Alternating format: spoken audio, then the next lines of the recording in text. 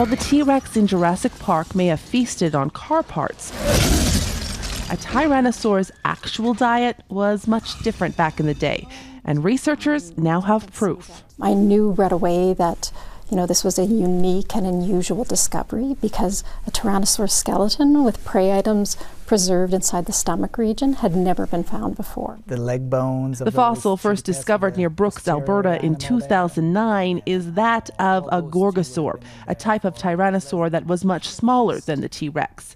Believed to be about five to seven years old, it was like a teenager, and it sat in the Royal Tyrrell Museum waiting for someone to discover the secret in its stomach. The specimen was discovered by a technician working here at the museum, Mr. Darren Tanke, and it's while he was cleaning up the fossil, he noticed those little toe bones that were coming out of the rib cage. Yeah, you can see all the toes over there. Those toe bones were connected to two intact legs that had once belonged to small bird-like dinosaurs called Citipes. Based on the internal structure of the bones, we know that the prey items, the, the Citipes feet, came from individuals that were yearlings, so barely a year of age. The discovery offers new insight into the hunting and feeding habits of the teenage tyrannosaur. Adults were previously known to have hunted mega herbivore, horned, or duckbill dinosaurs.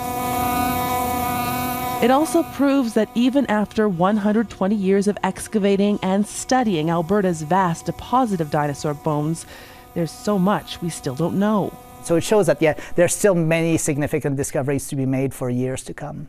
The last meal of a young predator feeding our endless fascination with these ancient beasts. Heather Yourex West, Global News, Drumheller, Alberta.